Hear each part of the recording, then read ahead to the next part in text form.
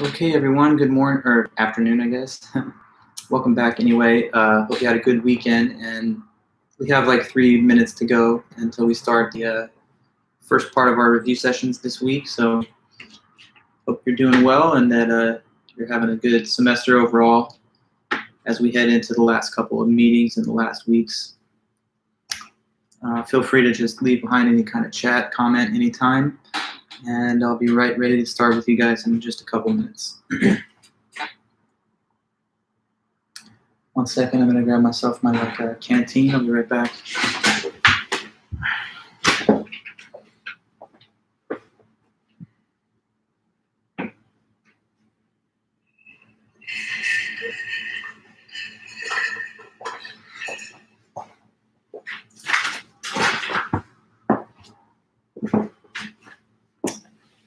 Hello, everyone. Tina, Mia, Maria.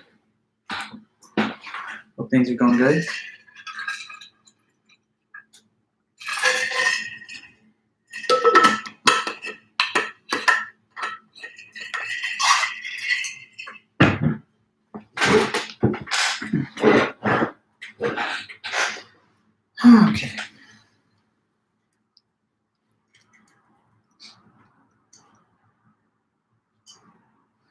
There, Alicia, Kevin.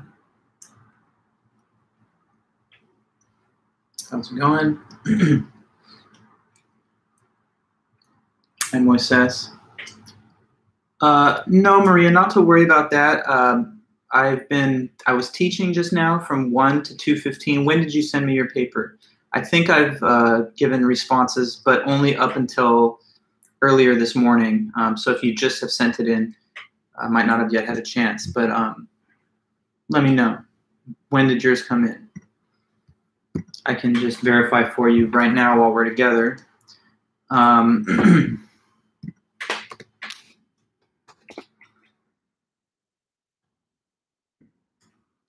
yes, 12:21 p.m. That's from you. I've got it.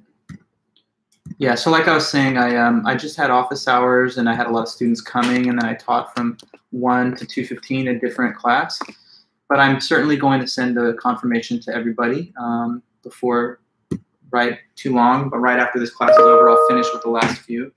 Um, so I just now sent yours your confirmation, Maria. But to anybody else that's waiting for me uh, to send it, like for example, isn't that you, Spencer, down there? You're going to get your reply in, in short order. Um, I just, you know, I've been kind of preoccupied this morning, but um, not to worry. I'll certainly confirm them all. Thank you, guys. Okay, perfect. And uh, David, you're asking the same question. I'm sure that I did. So it seems like some of you guys are a little. Yeah, you sent yours at 11, 10 a.m. I see it right here. Um, so no, not to worry about that. Here, I'll, I'll, I'll give you the exact time signature of the last uh, response. So I was all the way up until 10:45 a.m. Um, Sarah uh, Jaegerhorn. I replied to you, and then Anthony Sanchez, you're 1101. Yvonne Solis, 1108. David, 1110. Caleb, 11. Well, that's a different class. Sorry. Kristen Ochoa, 1134. Um, da da da da da. River Salcedo, 1205. Um, Ivan Villacorta, 1206. Spencer Castling, 1216 p.m. Uh, Gabriela Cervantes Camacho, 1217. Alexa Garza, no, that's a different class, thanks. Maria, talked about you. Angelina, have yours. Um, Derek Brown, um, Alan Kernan, Mia Fuentes, uh, and let's see, Sylvia Zuniga, got yours.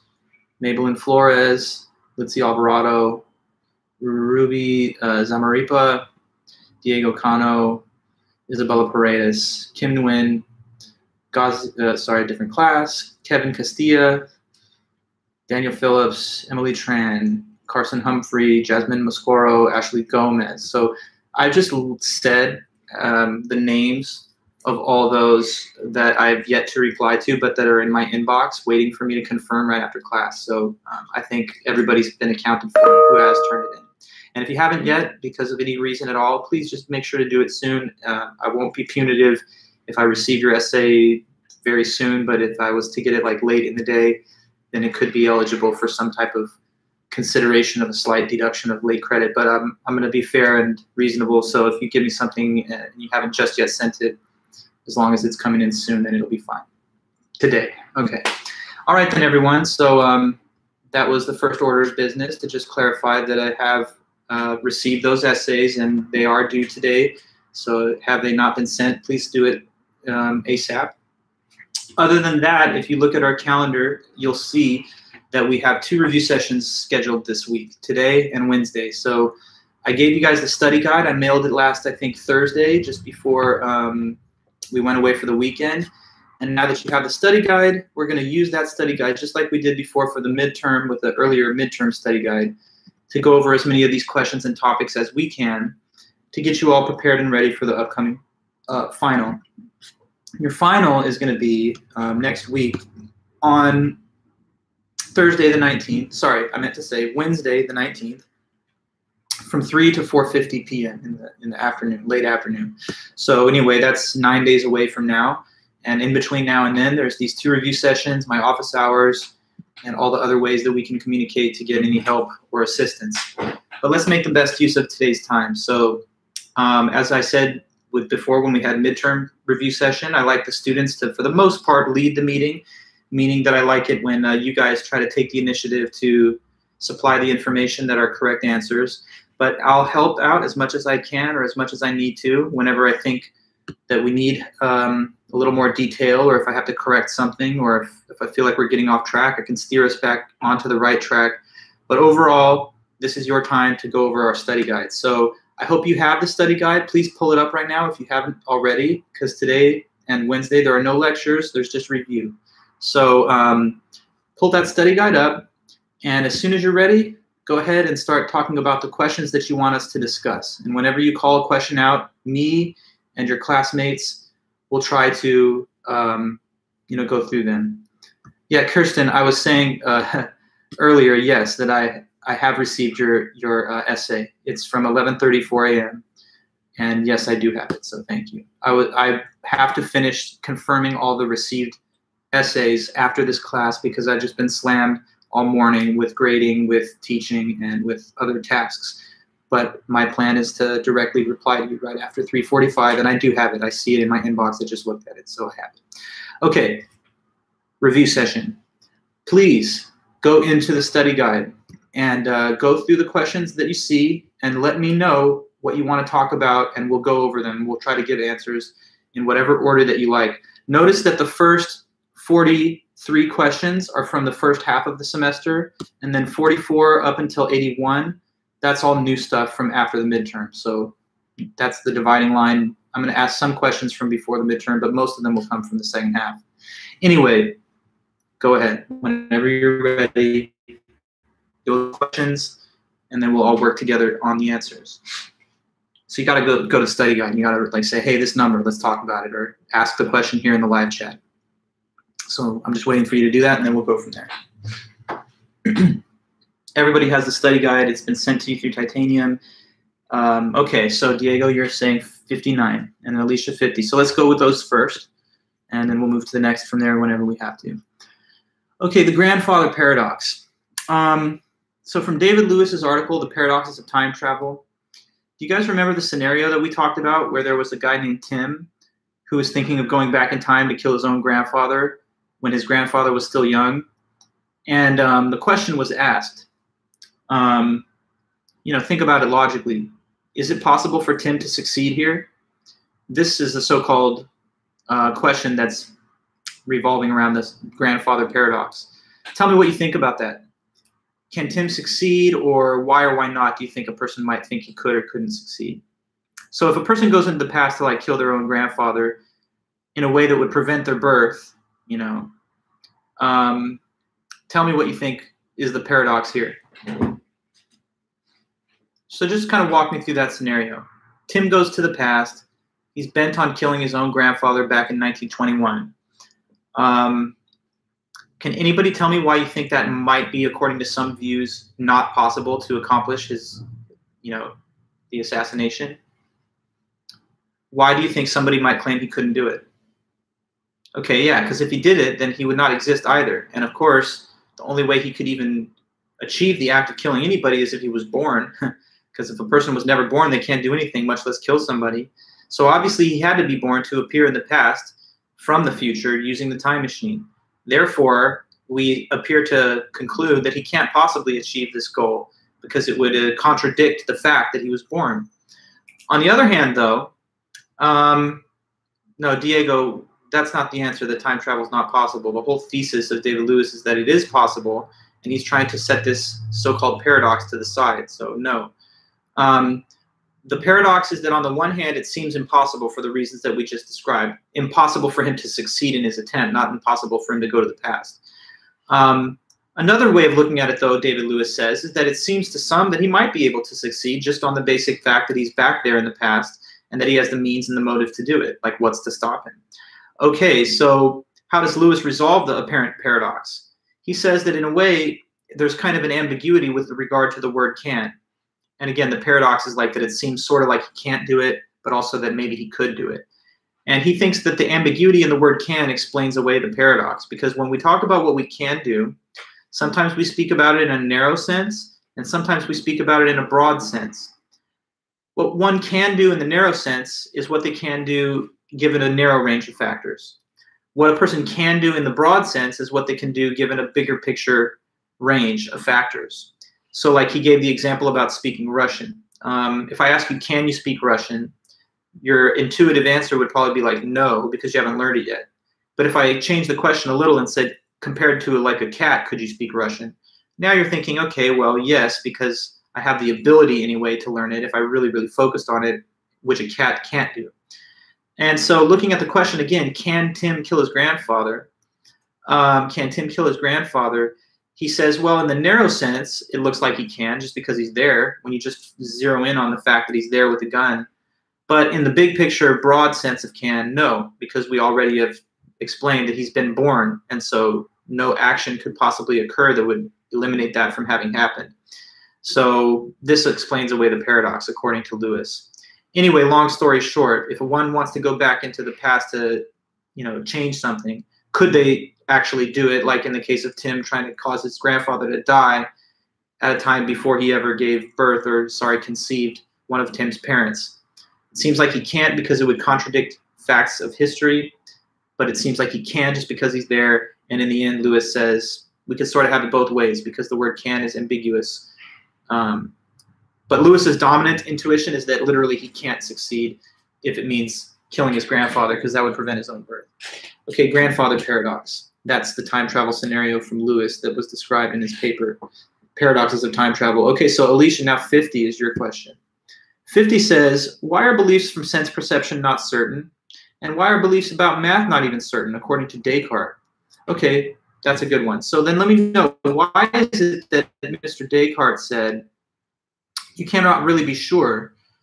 Uh, yeah, sorry, David, let me pause for a minute for your question. Yes, the final is like the midterm.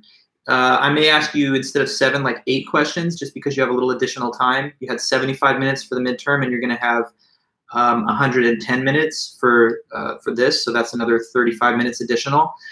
Uh, that means I might ask you to answer eight instead of seven, but pretty much similar. Yes, there will be a question bank. I will select questions, and then I will say answer eight out of this set of I don't know 11 or 12. Okay, so but yes, to number 50, which was about uh, Descartes Descartes uses a method of doubt to try and figure out what's certain. And using this method of doubt, he says, there's a lot of things that you can doubt and that are no longer so certain, including everything that you perceive with your senses, even math. Tell me if you could, why does he say that the five senses cannot absolutely be trusted? Why it's possible for them to be wrong?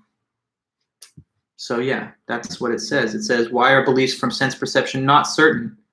So, right now, I mean, it looks like you're looking at something and you're hearing something, my voice, how come that's not certain?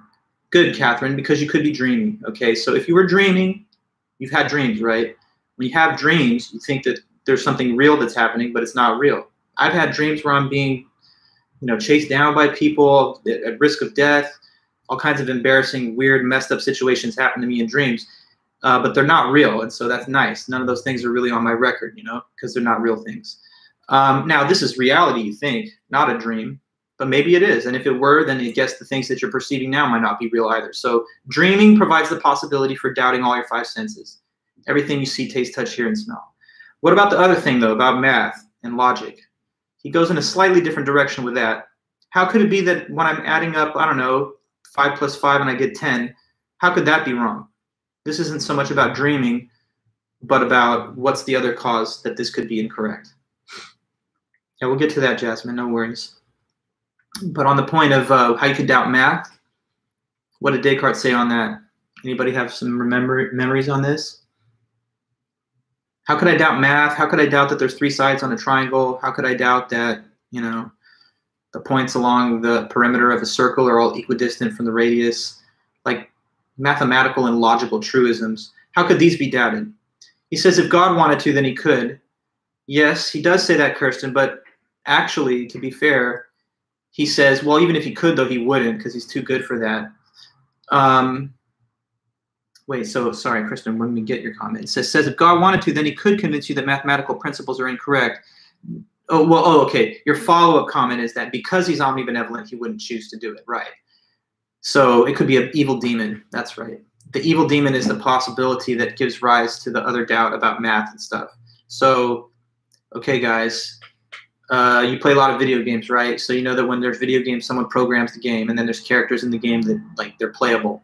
What if you're a playable character? Okay, going way down the rabbit hole. But what if you're a playable character in like a video game created in another dimension of reality? Then the programmer could be like the so-called evil demon that's programming you to think you have total certainty about math, but it's actually totally false.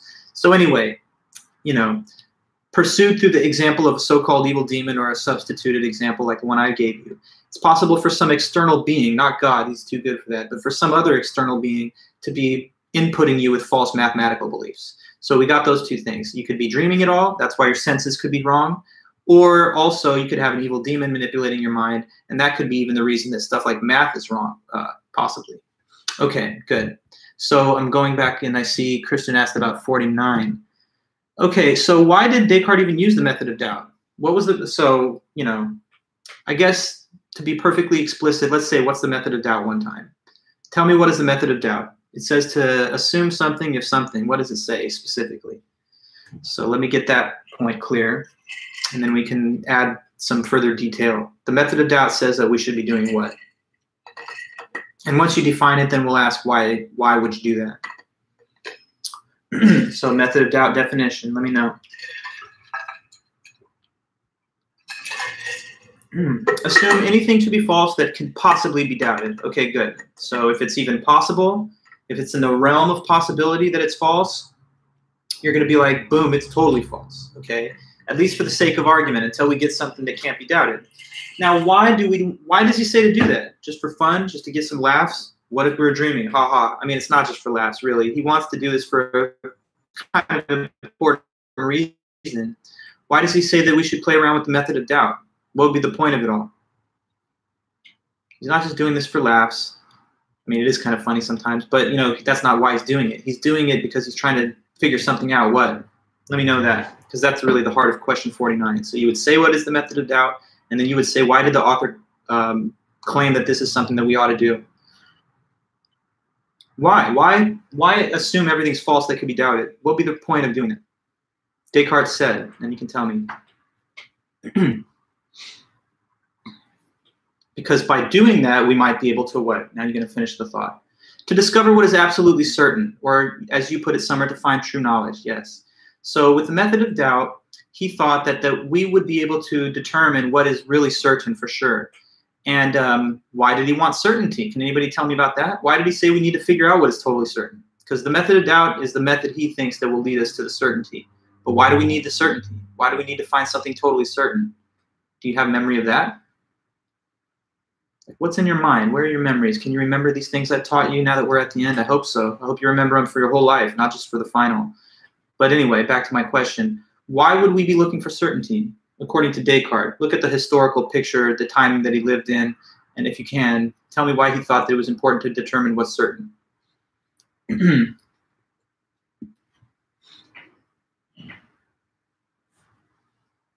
why?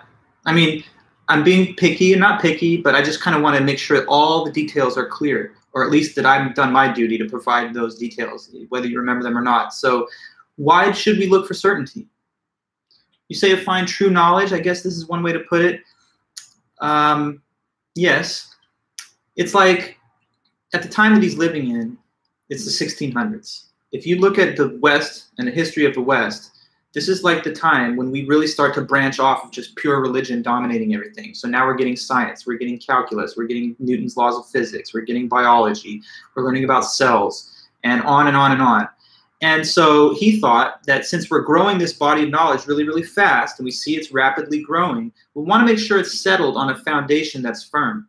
So he thinks the foundation stones of our human structure of knowledge have to be well based and they're only going to be well based if they're based on ironclad certainty. So let's figure out what's certain first, and then we can build everything else on top of that certainty. So the method of doubt was employed in the quest for certainty, which could give a foundation to the growing structure of human knowledge. There you go. Very good. And so that's all true and correct. All right. So the next question, I guess, uh, that you asked about, let me go up here. Someone asked about number 34, Jasmine, right? Okay, let me go back and see that. 34 from the first half of class. Uh, so, two objections to Singer's argument that we have some moral obligation to assist the absolute poor. Okay, so why um, why do anybody find fault with Peter Singer's argument? Singer argues that we have an obligation to assist the poor. Here was his argument, just to repeat it one time. Um, if you can prevent something bad without making major sacrifices, then you should. And absolute poverty is bad, and by the way, you can prevent some without even giving up much of your own well being. So therefore, you ought to do that. Now, that's his argument. What were some objections that he mentioned against the argument that his critics might have stated? He gave names to the different objections. Um, so I'm hoping that some of you will remember at least some of the names of those objections and then we can comment on them. Objections against the idea that you should be helping the global poor. What objections were there in reaction to that? So everything that we talk about and everything from the notes and sorry from the study guide is, is taken from the book, from the notes, and from the lectures. So it's certainly all there. And I know it's been taught, but it takes a little moment sometimes to remember. So just go ahead and let me know. Now, Anthony, you're speaking of Garrett Hardin and Tragedy of the Commons. Well, yes, Garrett Hardin was totally opposed to Singer's argument, correct. But the objections that we're referring to are actually reported on in Singer's own paper. Hardin's overall objection is much like the triage objection of Singer. So if you wanted to integrate that, you could say Garrett Hardin, you know, with the lifeboat metaphor, is kind of arguing in the way of triage that if you try to help, you're actually going to just make things worse by making the population of poor people bigger. Meanwhile, the problem of poverty isn't going away, so it's just creating a bigger problem. That's triage. But there's more than just triage, and the question asks about two. So, Tina, taking care of our own, that's another one. Kirsten, property rights. That's yet another one, yes. And leaving it to the government, another one. So um, I'll say a few brief words about each of these because if you chose, like if this question was chosen, you'd want to be able to speak about what two of those different objections are. Okay, so taking care of our own. Let's go with this first. Somebody might say, I don't have an obligation to uh, assist the global poor, the international community of poor people starving, because if I have obligations to care for anybody, then it can't be that big. It's got to be a more limited number of people. And who could it be? My own. So some people say I'm only obligated to take care of my own. No more than that, no less. And who are my own? Maybe somebody could argue. Like who who do you think the critic is speaking about when he says I only have to take care of my own, not the global poor? Our own could include such people like who? Let me see say something about that your local poor, yes, and even more immediately, you know, you might include, of course, your friends, family, and people like that. But aside from your family, friends, and fellow citizens, some people might say it doesn't go beyond that. I don't have obligations to take care of people that are starving in villages and like poor parts of the world. Okay, that's one objection. Another objection was property rights. And property rights uh, is all about the idea that I have no obligation to give over my money to the poor because my money is my property. And my property rights allow me to dispose of my wealth however I want, or to hoard it, or to retain it, or to even spend it on things that don't benefit anybody, including myself. Like, what if I want to buy a whole bunch of cigarettes and alcohol today and just basically destroy my health with that stuff? I mean, I'm free to do that, and because the wealth that I own is my property. So, a person might just say, simply based on property rights alone, I'm under no obligation to do anything with my money that I don't want to do. Even if it's not necessarily helping people, it's still my wealth, and therefore I'm free to oversee it in whatever way I want. Because um, people can say wealth and income is part of your property, and having property rights entitles you to do as you wish with that. Now, another objection is the one uh, leaving it to the government. Leaving it to the government just basically says don't put it on individual citizens to help the international poor. Create like a national program that collects from the taxes of all people, and that diverts funding to the international poor. But don't leave it to the individuals because people um, are random. Some people have feelings of charity, others don't. And if it was a government program, then we would all be invested into it. There would be more funding and it would be more reliable. So some people say it's not that I disagree there should be assistance, but it should be the government's job, not the personal job of individuals. And then triage, okay, Triage is a policy that is done when you have um, like an overload of people that are either sick or dying, and you have a shortage of medical attention that you can give to them. So it's like it's kind of like like India right now, as an example, um, something that could have happened here if if coronavirus got way too far out of control, where hospitals are just totally overwhelmed. But imagine, right? it's not even imaginary. I mean, just look in the news and you'll see that in some cases, like for example, what's happening now in India, you have too many people that are sick, not enough hospitals, doctors, and medical facilities. So what do you do in that case? Well, you have to employ what's called triage, which is a tough policy, but it's done to try and maximize the ability to save lives with scarce medical resources. So you basically have to divide the population of sick or injured persons into three categories. One category are the people who are so far gone with their sickness or injury that they're going to die almost no matter what you do. They're like a lost cause group. On the opposite extreme, you have people who are sick, but they're really not in the worst case. They're actually doing pretty well. And so even though they could use some help, it's not urgent and they're not likely to die, even if they don't get help. Then you have a middle ground category, which is all important because that's the group where some people, where, where sorry, where people will probably survive if they receive help, but they'll probably die if they don't. And so by isolating that middle ground category, this is where you're going to pour most of your precious medical resources because if you divert these scarce resources to the people that are already the worst off, you're wasting resources on people that are already too far gone. And if you're using the same attention on people that don't need it, then of course that's also a waste because there are other people who could really use that help to survive. Um, and as an objection to Singer's argument, a person might make the case that when you try to help the whole international community of poor people, it's like trying to send resources to the worst of the worst affected by poverty. And that, according to triage, is not going to work out because you're simply going to be working on the lost cause group. And in terms of international aid, this will simply cause that group to become more numerous in terms of numbers until such time as it becomes an unsustainably large cohort of people. Now you have to withdraw assistance and you have an even bigger problem. So triage is another objection. Okay, so that was a question about number 34, which asks, explain two objections to Singer's argument. And there's four that are there, but you would, if I was chosen, refer to two. Okay, so then, um, I saw your question, Jasmine, and uh, I guess now we're just waiting for more. Okay, so Alicia, you say 56 and 7. Scrolling down to that. Okay, so closed loop of causation involving time travel. going back over to the, oh, no problem. Thanks, Jasmine. So to David Lewis's article again, do you guys remember the example he gave of like um, a person receives a phone call from someone in the future who, uh, well, they don't know who it is at first, but they just receive a phone call and the person says, "Hey, yo, make a make a machine. Don't ask questions. I have blueprint for making a machine. Follow these instructions down to the last detail and make it."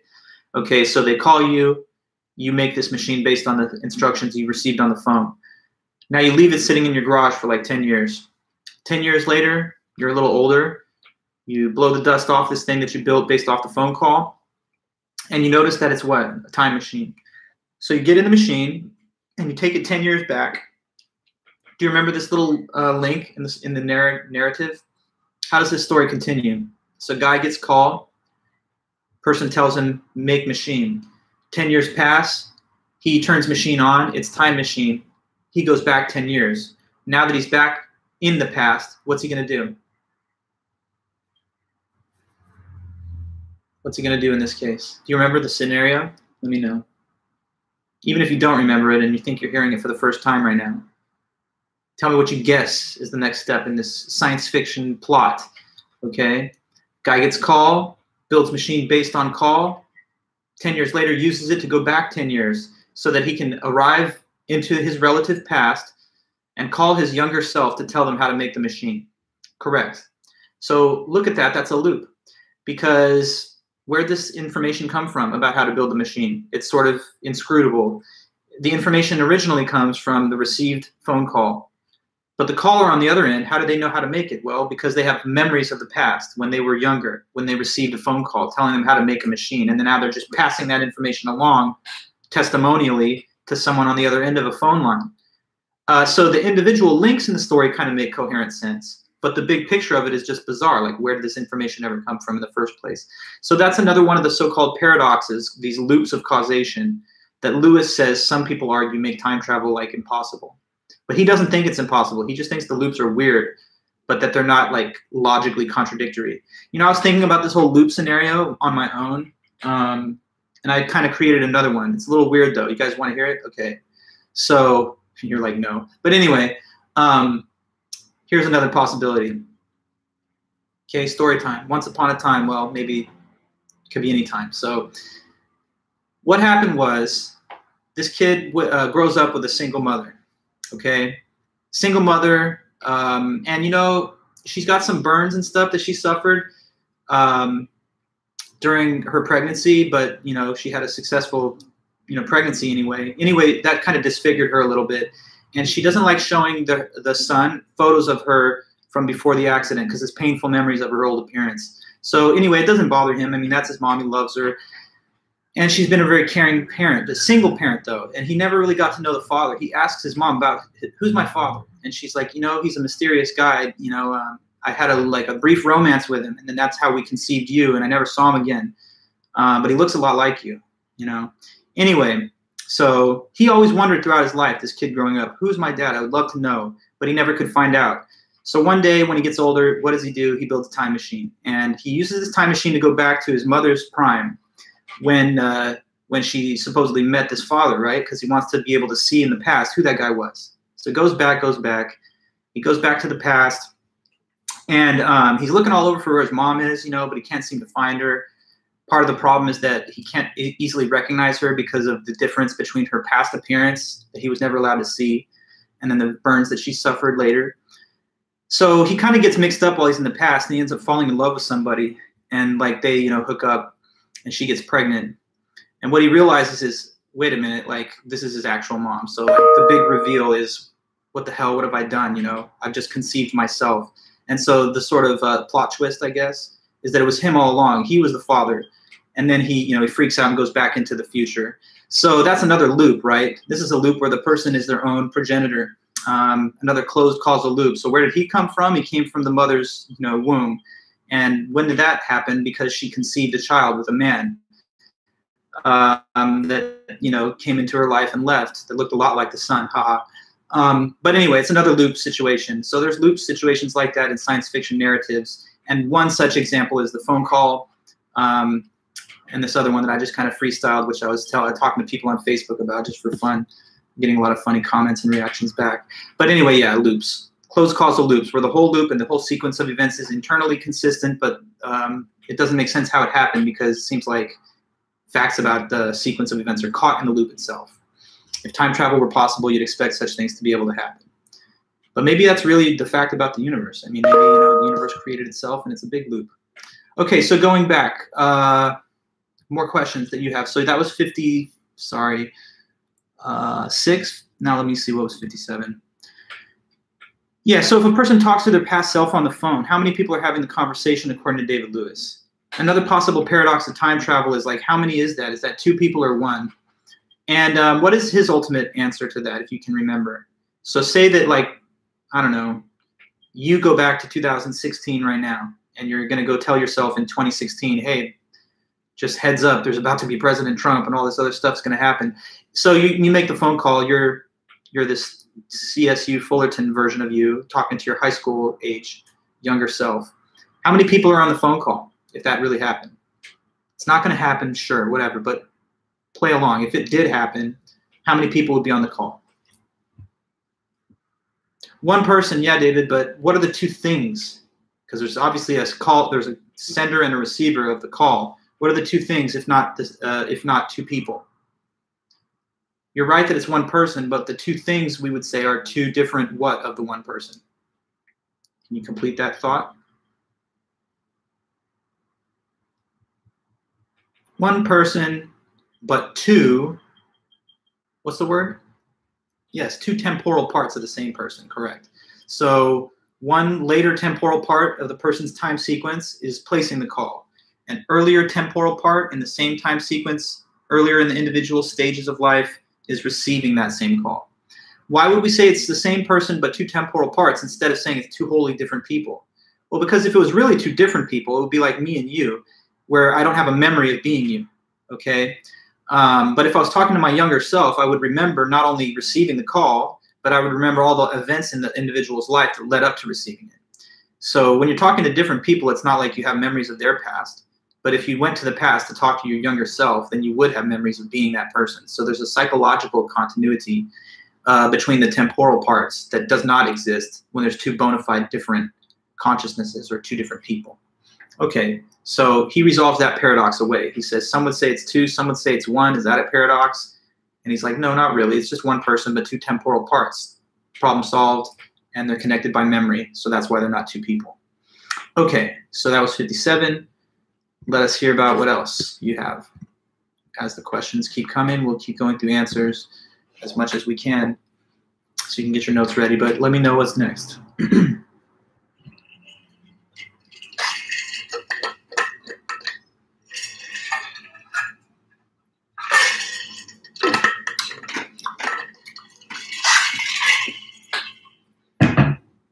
it's always good to go back to the text when you hear like a summary of something and then you're like my memory of the book itself is a little bit fuzzy. It's good to like connect the work of the book with your in-class discussions because i think it just makes it stick in your mind longer. You learned about knowledge and you learned about how when you have the justification you retain facts and information. When you're just trying to like memorize stuff and you don't know what it's based on you won't remember it. So it's just a fact that you need to kind of read stuff sometimes to create hooks that your like content will hook onto. But anyway, um, we'll be reviewing Wednesday as well. Oh yes, we will. The two sessions for this. Um, this is just part one. But anyway, David for 54. 56 in class. Let me see, Tina. Soon he'll be in the past. No, we talk. Uh, wait, sorry, 56. Oh, the closed loop of causation. It's possible we didn't talk about it. I know it's in the article uh, and that we did discuss Lewis's work. I'll go back and review the tape. Um, but anyway, we've discussed it now, so it's on the study guide and it's in the essay. You are responsible for it. Um, continuing from here, number 54. Explain why, according to the space-time theory, nothing really changes. Okay, good. So some people think that it's not plausible to embrace the space-time theory because one of its consequences is that there's no such thing really as change. Uh, what would be called change gets redescribed in a different way. So, for example, if a person, let's say, gets like a haircut, or I don't know, like I have like kind of some facial hair. Suppose I shave it off and then I'm clean shaven, and I show up to the Wednesday meeting, you'd be like, oh yeah, you have a different look. Um, on the space-time theory, though, where all the points of space-time all exist, all the moments, including the whole past, the whole future, and the present, they're all just out there and they're all equally real. Um, we wouldn't really say that there was change because the temporal part of me that has this facial hair has always been at that point on the timeline. And the subsequent temporal part that's after the shave, where there's a clean shaven appearance, that temporal part's also always been on its position in the timeline. But if you look at the overall sequence of events in total, nothing has shifted position or changed. They've all just been occupying their relative positions in space time. So that means there's no actual change. But to David Lewis or to Ted Sider, anyway, it's not really so much of a problem to say that we give up on the notion of change in space-time theory because we simply redefine it. Now what used to be called something changing gets redescribed as one object having two temporal parts with different features. Okay, so like if I show up on Wednesday with a clean shaven face, that means that one temporal part of me dated Wednesday the 20, sorry, the 12th, um, has that quality. And another temporal part of me dated at this time has this different appearance. but the qualitative difference between the two temporal parts has always existed and always will. So there's not so much one and the same thing undergoing change as two parts of the same object having different features. Okay, so that's the way that the author tries to um, explain how on space-time theory nothing quite changes. And that was discussed by Ted Sider actually in the article Time, right after he finishes talking about temporal parts and space-time diagrams. Okay, so David, you say, does the space-time theory just say that the future, past, now are all set in stone? Like that's what's confusing me with this question. Um, but you seem to know the answer. Yes, they are all set in stone.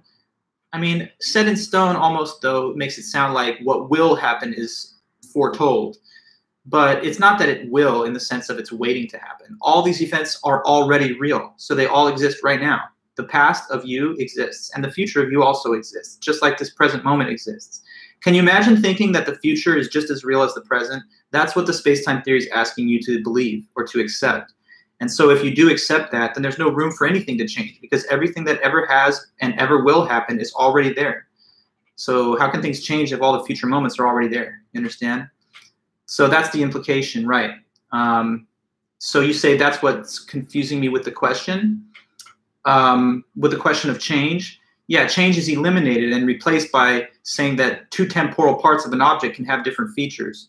So like a temporal part of you from being five years old was very small and a temporal part of you, if we could take a freeze frame today, is a little bigger than that. But that doesn't mean that you have changed. It just means that one temporal part in the sequence has a different shape and size than a later temporal part in the same sequence. But the whole sequence overall, all of it always exists. And it's not like it's unfolding in time. Does this make sense, David? Am I getting to your comment? Hopefully I am, but you'll let me know. Okay, so then going ahead with number, uh, first I see Jasmine just in terms of the list. You're first, so 79, and then Christian, we can try to get to those others. Okay. Um, 79. What is existentialism? Okay, now existentialism was briefly discussed right at the tail end of the last meeting, so there's not a lot to say, but what can you say? Existentialism holds one major claim. There's like a very core principle that really lies at the heart of existentialist thought, and it's the statement that says something precedes something else. Can you tell me what that statement was? This comes before that. So I know that that we did talk about at least that much from the Jean-Paul Sartre existentialism article. Existentialists claim that, yes, Tina, correct, that existence precedes essence. Okay. What is the essence of a thing? What is the essence of something? What's the definition of the word essence? Correct. Existence precedes essence, right? Now we're going to unpack that a little bit by asking a follow-up question, what is essence in, in the sense of existentialism using this word? The essence of something is kind of a fancy, weird way of saying what about something. The what about a thing is its essence. The you say the attributes of something. Yes, Alicia. But what kind of attributes? The core attributes, like the defining essential attributes of it. So I think I said to you that if I was asking you for the essence of a square, you would have to tell me four sides, equal length sides, interior angles, 90 degree angles. And that would be like essential to the concept of it. But saying blue would not be part of its essence because a square doesn't need to be blue, but it does need need to have four sides. Okay, so needed qualities that are defining of something are the essence of it. Now, to a person like me or you, existentialists think that we have essences. And, you know, your essence is just, in other words, the very fundamental things that you would say about yourself if you're trying to give people a sense of what you're all about. Like you would say what your religion or lack thereof was, what your um, values or beliefs are, whether you're more or less liberal or conservative. Maybe you would talk about, sorry, you might talk about what subjects that you study in school or that you're majoring in. Um, what's your um, i don't know like gender and orientation and the way that you express those things so your taste in film music art fashion literature okay so the things about you that make you the person that you are we're all a little bit different but the, those kind of cluster of attributes that would be your essence in my case i would be like okay philosopher musician runner um, i don't know politically maybe tilted towards the left a little bit. Um, you know, I would say certain things about myself, my, my uh, values, beliefs, etc. Okay, so back to the question, what is existentialism? It says existence precedes essence. So here's another question, what is preceding? If something precedes something, what does that mean? Preceding, just let me know this one. because to precede essence, we have to be able to say what that exactly means. To come before, exactly. So right, that's correct, Alicia. So existence precedes essence. Now we're in position to say, having defined essence and defined precede. It means that when it's a human being, we start by existing and we don't have an essence yet. So before we have an essence, we just exist. And then the essence takes shape over time. So like whether you are conservative, liberal, religious, atheist, um, a fan of rap music, rock music, um, you know, whatever kind of cultural or fashion choices, whatever it is that makes you you, that stuff comes into shape later.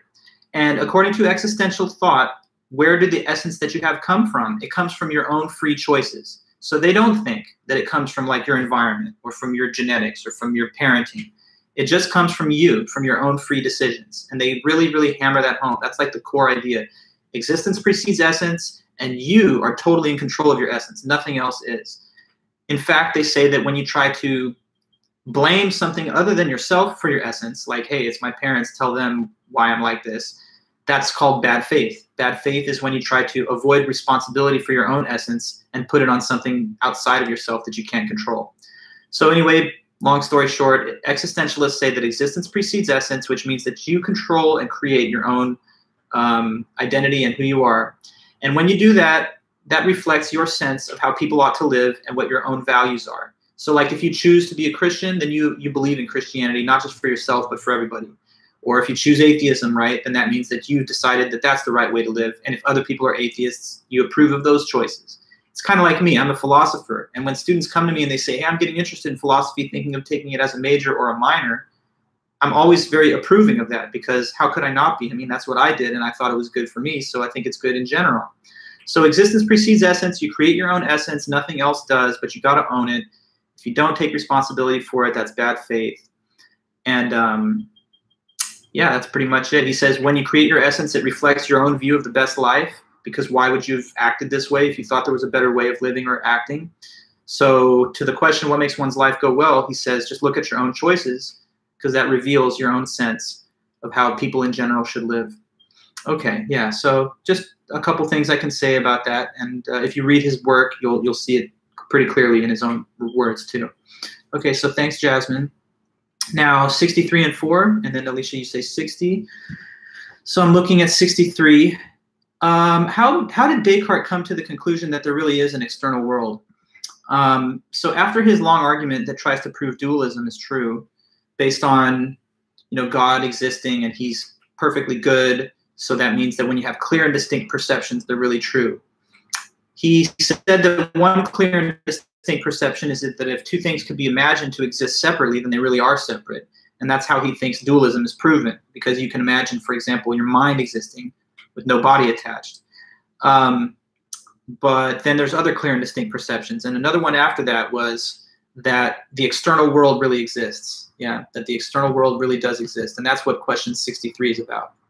So, um, does anybody remember any of the reasons that uh, Descartes said that it actually is pretty clear that the external world exists?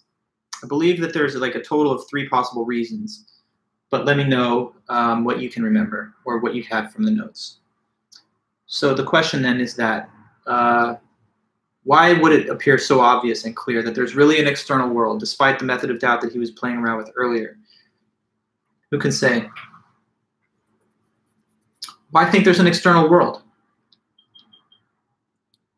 It has some stuff to do with like what you cannot just cause yourself to perceive through an act of the mind or through will. But um, but I still kind of want would prefer it if you could say a few things first, and then I'll just meet you halfway. in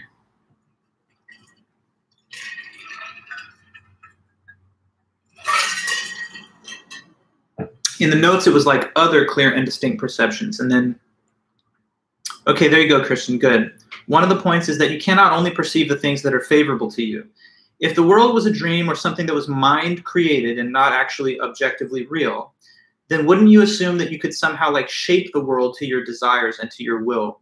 So like if I said, okay, I'm just going to manifest this right now. I'm just going to make some wealthy guy call me today and be like, do you need a million dollars? Because I'm happy to hand it over to you since I'm giving it to professors that work at different colleges randomly. If I want that to happen and I think hard about it, it's still not going to happen. And that shows you that this world is not something I'm just creating with my mind, like I could just edit it to my interests. So that's the point you make, Kirsten. I cannot perceive only the things that are favorable. And if this world was a dream or an illusion and I'm the dreamer, then you think I could somehow like lucid dream things into happening that I just want, but that's not how it works. And the second point you make also is correct, Kirsten that you cannot control what you perceive. So um, if the world was something that was not independently of existing outside of your mind, then you would think that your mind could just pop, make stuff pop out of nowhere. Like right now on this table, I want you to just see, I don't know, like a, a, a bunny rabbit. I mean, you can imagine one in your mind's eye, but I guarantee you, unless something weird is happening, that you're not seeing one as though it's right here positioned in front of this table in space. And so that's another reason to think that the objects out there they're not just made up because if they were, you could cause some of them to go away or have other ones come in, and that's just not at, at all what happens. And then another thing, yes, memories are not as clear and vivid as a current perception is. So like right now, this is the current moment. Like what we're doing right now, this is the present. If you think back to our earlier meetings, that's all in the past. So if I ask you to compare these two states of consciousness, having this present experience, and then on the other hand, going back into your memory of like, I don't know, one of our meetings during the first two weeks, I bet you that you think this is a little bit more vivid and sharp than the like mental playback of what we did back then. Well, what makes the difference between the memory state and the present perception? Why is this sharper and that's like faded and less clear? It can only be because when you first have the perception, you're in the presence of the object that generates the perception. Like right now, you're sitting in front of the computer, and that object outside of you is giving you this very clear image when you think back to an earlier lecture and you're just using the memory you have, it's not as clear because you're no longer surrounded by the object that gave the original perception. You're kind of trying to revive the image of it in your mind's eye. Now, if the world was just a big mental state and there was no real actual external world, then when you think back to memories, they would be just the same as present perceptions because in neither case would there really be anything outside of you that you were in contact with. So only on the hypothesis that there's an external world can we uh, explain the mismatch between the two levels of clarity. Clarity when you have original experience because the object is right there, less clear later when you try to recall that because now, having passed time, you're no longer in the presence of the original external thing that you perceived. Okay, so those are reasons that he gave why it seems clear and distinct that there really is an external world. Um, and so next I saw the question of 64 and that's kind of along the same lines, so we can continue on that theme. Why does he say that it seems pretty clear that you have a body? So one thing is that there's an external world, okay. Why does he say that it seems pretty obvious and clear that you have a physical body and that you're not just, I don't know, a mind floating around with no body? What makes it clear that that body is yours? He gave three different reasons for this one too. So let me see if you can tell me that. What reason does any of us have to come to the obvious conclusion that you have a body. And no, you can't just say, what? Look at it. What is there? No. What's the deeper reason that he says that, you know, the philosopher can identify? It seems pretty clear that you have a body, for one, because why? Because you can control your body with your mind, right? But you can't control other bodies with your own mind. So if I say right now I'm going to hold a fist with my left hand and I'm doing it, it's just because my mind sends the message to the hand to do it. But I can't like look at someone else and be like, over there, he's going to ball up his fist, watch this. And then he just does it. Like, what's happening? So I only have control physically over one body, my own, uh, in terms of like mental control. I mean, I could order someone or I could hold a gun to them and be like, you're going to put your fist together and then they would probably do it. But it's not the same as just having direct control over your own physical specimen. So that's one reason to think it's your body because you can control it, but not the other ones. Another thing is this, and that's Tina, what you're also reporting, that when your own body is stimulated with some stimuli, you experience a sensation. But if other people's bodies are given a stimuli, you can observe them having the reaction, but you don't have the same one yourself. So, like, if um, if you watch a fight, like you're watching boxing and someone gets punched, like the Canelo fight over the weekend, um, you might be like, "Ooh, that hurt," but you don't feel like it actually punched you. Okay. Now, if you're the one receiving the punch, though, it'd be a direct experience of the stimulus to your own body. So, wouldn't that make it seem obvious that this is your body? Because when something happens to it, you feel it. But when something happens to other bodies, you don't feel it. And then a third thing is that you also cannot seem to remove yourself physically from the body that you're in, but any other person's body, you can go as far away from it as you like. So um, there's a unique aspect of the one body that you're situated within, and that's because you can control it, you feel things that happen to it, and you can't seem to get away from it. Except, of course, if you died, and then God, he says, would separate your soul and mind from the body. But short of that, you're locked in. Okay, so that's everything about 64. And to continue from there, uh, I see Alicia's asked about 60. So let me go, go ahead and look at what that one was. Um, okay, monism and dualism. Two different views about how many substances make everything in the universe and in reality. So do tell me, um, what's the definition of monism, and then what's the definition of dualism, and then we can add more detail from there. But that's the first point. What does monism say? And then what different thing does dualism say about the same topic? Okay, yeah, we'll try to get to 55 when we can. But on monism and dualism, someone will just list the definitions out, and then we can go from there.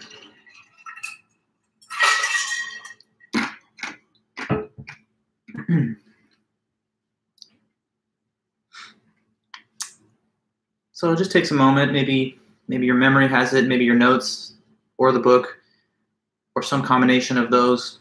But the information exists, you just got to retrieve it. So just tell me, what's the definition of either monism or dualism? Okay, so Christian, monism. It says everything in the universe is made out of only one kind of substance. Correct. And Tina, uh, same. Monism is where everything in the universe is made out of one kind of substance. Okay, very well. What's dualism then? Okay, back to you, Christian it means that everything in the universe is made out of two different kinds of substances. Yes, that's also right. But now we have to add a little bit more detail. Hi, Ismail, good to see you. Not to worry. Um, so here's the follow-up. So what are the different substances that are being mentioned by either theory? Uh, talk to me about what is the substance that is labeled physical matter. What's physical matter? Because when you talk about monism says everything's made out of one substance, dualism says everything's made out of two then you would you would further back that up by saying and the substance that could be the one and only substance is either this or that. And then you would be able to speak about what the different branches of monism are.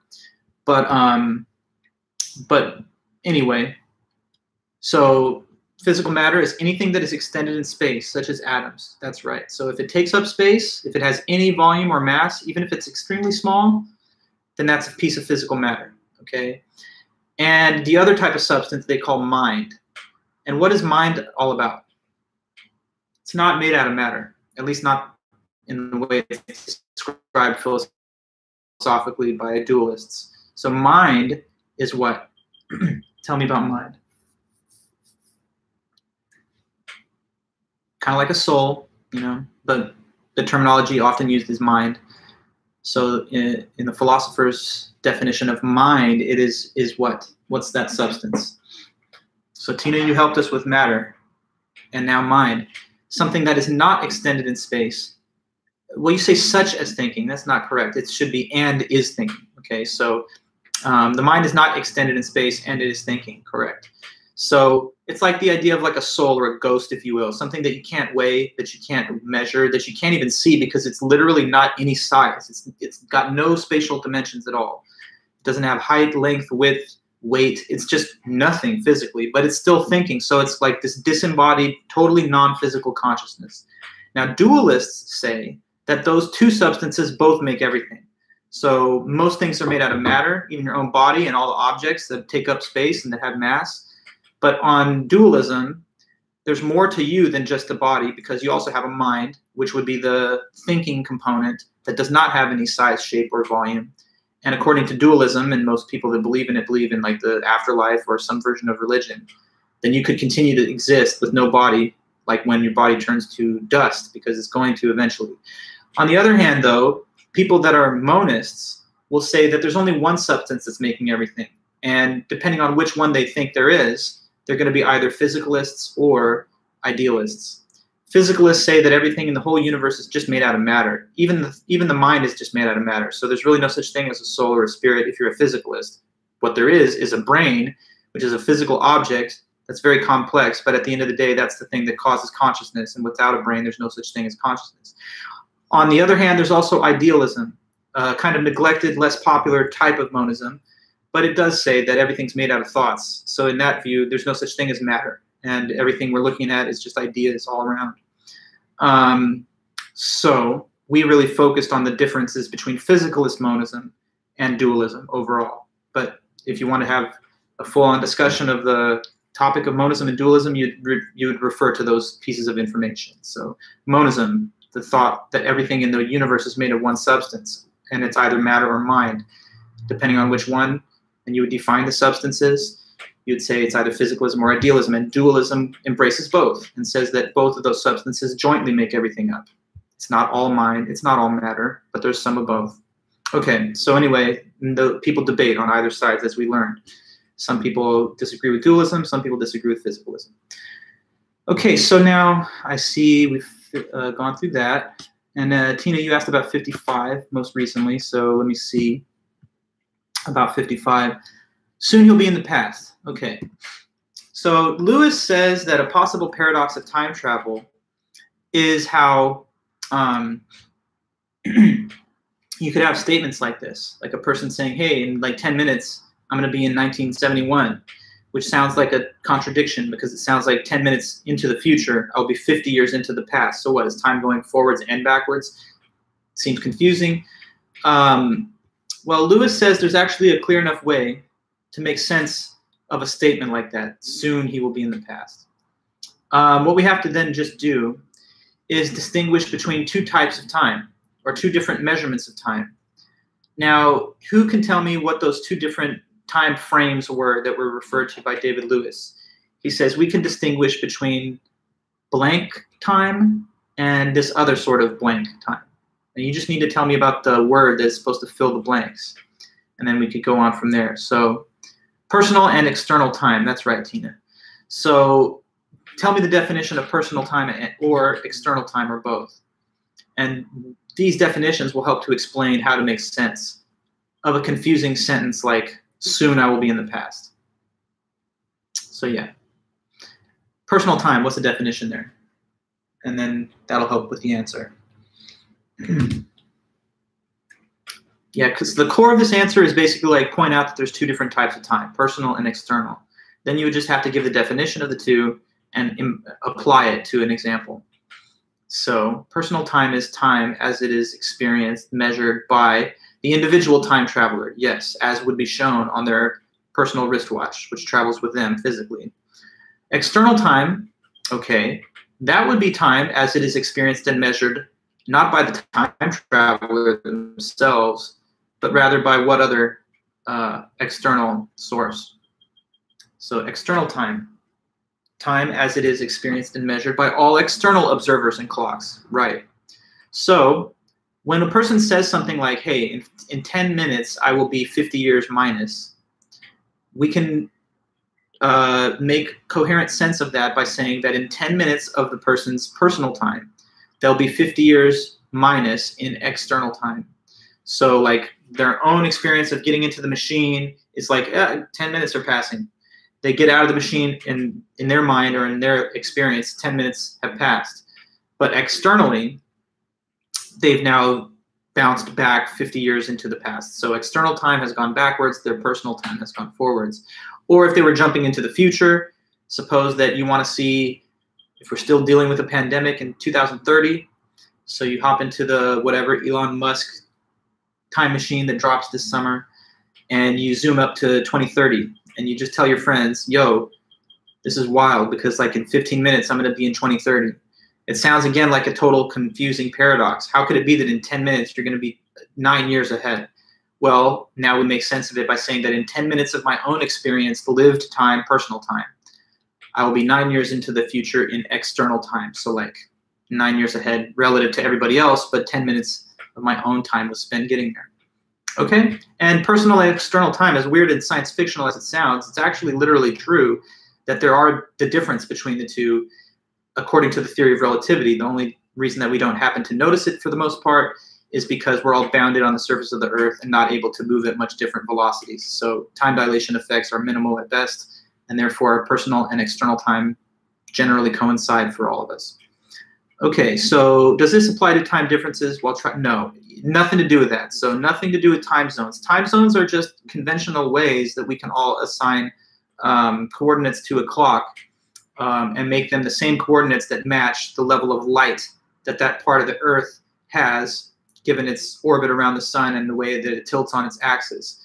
So to another part of the Earth's sphere, which is not bathed in sunlight, while the other half of it is shown to the sun to the sun that is you know shining light on it, we don't want to call that the same time of day. So time zones allow us to account for the fact that as the Earth tilts, different parts of it are going to be bathed in sunlight, and therefore for that part of the Earth's surface, we want to assign it the time of the clock that matches to that type of light conditions. So like 12 noon should be like noon daytime. Um, therefore, like if one part of the Earth's surface is farther away from being exposed to the light than the one part that's shining on it now, we're going to call that a different time zone. But there's nothing to do with time travel. It's a common misunderstanding when I teach this stuff about time travel that people are like, oh, it's kind of like time zones, right? Because like right now, if I if I talk to someone in New York, they think it's 9 a.m. and I think it's 12 p.m. Whoa, that's mind blowing. But it's not that at all. That has nothing to do with relativity of time or anything, because clocks themselves are just conventional measurement devices for the passage of events. So no, but it's okay. Um, to the next question though. Um, what do you have? We've done 55. There's still about 10 or 12 minutes. So we have time to get in maybe one or two more if you want, but you'll just direct me to the one that you think we should speak on next. 68, Tina? Okay. Argument from causal closure. Okay, so going into the writing of Daniel Stoljar, where he wrote the paper called Physicalism, um, he says that to try and defend that physicalism is true, there's a pair of arguments at the end that he tries to provide to the reader. The first one was causal closure argument, and the second one was the argument from methodological naturalism. Um, so what is the causal closure argument? There's three premises that lead to the conclusion below. And, um, you know, if you can, go ahead and try to type out the, the, the, full argument here in the chat, or at least some of the premises, and then I'll um, respond to whatever you're typing. But yeah, it's from Daniel Stoljar, argument from causal closure, three premises, then the conclusion, there's stuff in there about like if something has a cause, then it has this kind of cause, blah blah blah. So maybe that's enough of a hint to remind you, uh, direct you where you need to go in your notes or book. So let's see if anyone can tell me something about the the causal closure argument.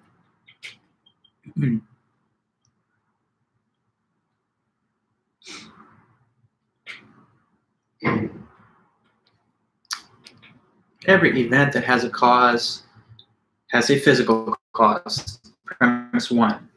Yes. What's the next premise? Whether you can tell me or anybody, the next premise of the argument. Every event that has a cause has a physical cause, and then what's next?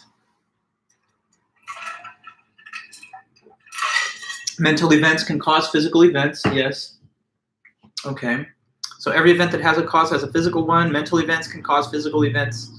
And then there's this third premise that's you know something about how many causes there are for every effect. Um, I don't know how you want to put it, but there's a few ways to say it. There's like the verbatim way of putting it that I just wrote, which is fine. Or you can try and just express it in like a more straightforward way, but let me know what you think the third premise would be. Every event that has a cause has a physical one, mental events can cause physical events. And for every cause, there's just one effect. That's right, Tina. That's a good way of restating it. I think the original is like if an event A causes an event B, then there's no other event C, which is different from A and which also causes B. And to be honest with you, even that is a simplification from the actual thing in the book because he uses different symbolism. Like in the book, just reading it now. Um, he has this. He says,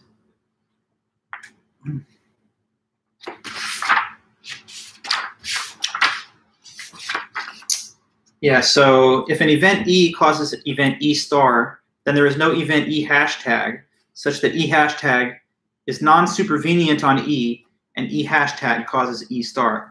So I thought, you know, bringing in star, hashtag, and all these other little technical symbols is going to make it more confusing than to just say A, B, and C. So however you say it, if A causes B, then there's nothing else that causes B, it's just A. If, if something is the cause of an effect, it's the only cause of that effect. Now, anytime you report on an argument, it's good not to just sort of like list out the exact wording because that doesn't prove that you thought about it. You'd want to try and discuss the different premises. So in discussing the first premise, every event that has a cause has a physical cause.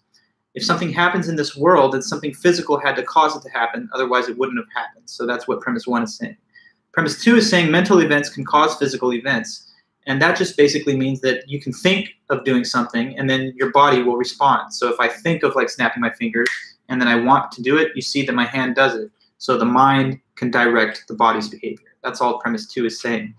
Premise mm-hmm. three is then saying that because the mind causes your actions, and because there's a physical cause for everything, then it is the physical brain that's causing your actions, and it's not anything else. The third premise is saying that if it's the brain that causes your behavior, then it's only the brain and nothing other than that. So it's not like there's the brain but also the soul. How could there be two causes for one effect? Since we know the brain is involved, there's no room for something separate from it to also be claimed as another independent cause of the same observed behavior. So everything's physical then. The conclusion, therefore, of the argument is that therefore mental events just are physical events because everything that has a cause has a physical cause. Your mind can cause things to happen physically, so that must be a physical cause. But if it is, then it's the only cause and there's nothing spiritual or not uh, physical about it. Okay, now um, let me think. One thing I would say in general about like as you're studying and preparing, when you look at a big list of questions, you know, you see all these numbers and it seems like a lot. But I think it really helps to break it down and make it simpler to structure your study guide in terms of author or topic. So like I would say create bracketing off to the left or right where you group certain questions together by author. And then you'll start to see that they all kind of have things to do with each other and that makes the uh, list itself organized into more manageable, larger chunks. Because you know, there's really only a few topics in the whole class. There's uh, religion, ethics, epistemology, um, uh, mind, time. And that's it. I mean, we barely talked at the end about life and death on the very last day, just a slight bit. Um, but when you look at it by topic and then even by author, it starts to, I think, simplify some of the content for your mind to, to remember it a little better. But anyway, there's still time, I guess. Did Tina, you ask about another question, or is that the same one? No, that's the causal closure argument. So if there is any time or desire to go into one one more, we can with five minutes left. Or if not, you know, I'll see what you decide, and then just go from there. But either we're gonna do another one, or we're just gonna chill for five minutes or we could end early, but uh, but I figure you probably want to get as much help as you can. So I just leave it up to you. what do you think? We do have, you know, as we've learned, uh, as you know, part two of the review session on Wednesday, and I'll try to uh, make available some additional office time if anyone wants to get the benefit of another session beyond these two. But that's about it. And of course, yes, I'll be grading the essays that you guys are turning in through the week and they'll be done and ready by the end of the weekend. So then you can check with me for your grades and I'll report by notifying you through Titanium when those are all complete so you can get the scores and comments back. Tina 44, okay. Um, statues of Daedalus from Socrates, okay. So um, in the ancient Greek dialogue, the Meno, Socrates is discussing knowledge with uh, this general named Meno, and he's getting to the point of why knowledge is more important or more valuable than just having a correct opinion. This Daedalus statue thing is used as a metaphor help explain why knowledge is more valuable than just having a correct opinion. So let's hear the definition of what is correct opinion in the usage of Plato and Socrates. What's a correct opinion as opposed to just having knowledge? correct opinion is some of the parts of knowledge, but something's missing. So let's hear from you if you remember what is correct opinion, so to speak.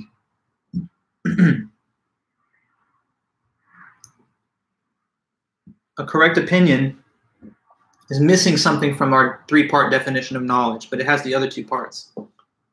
So just looking at the, the words correct opinion, you can probably understand that that's a true belief. Yeah, true, correct, opinion, belief. So a correct opinion is a true belief with no justification, with no evidence.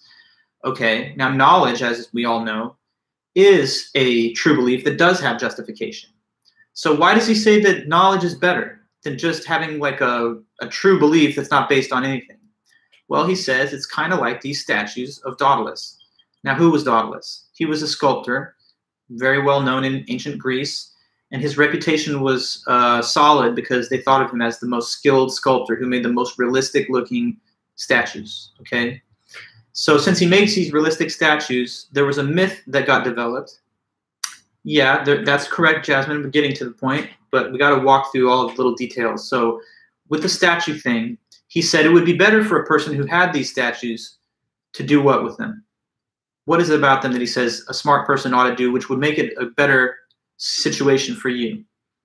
You get these amazing, beautiful, wonderful works of art from Daedalus. First thing you should try to do is make sure to do what to that statue? To tie it down, yeah, with ropes, so it won't run away. Now he says this. He says, if you have a statue with no ropes or with ropes, which one is better? Well, it's the same statue. It's just as beautiful either way, but the ropes add value because the ropes make sure that it can't run away. Now, they believe that the realistic looking Daedalus sculptures were so realistic that if you didn't tie them with ropes, then they would somehow become alive and they would run off on their own when you weren't looking. So then the thing is, they say use these ropes to tie them to the ground so they can't run away. And the ropes now are supposed to be somehow like an analogy for justification. Because a correct opinion with no justification is like a Daedalus statue with no ropes. It's nice to have it for now, but it won't stay for long. Because without ropes, the statue will run away. And without justification, your true belief will run away from your mind. Like, how many questions have I asked some of you where if you don't actually remember having read it or studying it in the first place because maybe you skipped over it you like you know that i said it or something but because it's not deeply rooted in your own like knowledge base you don't have all the facts and reasons why that's the correct answer you kind of forget it and you need to be reminded again.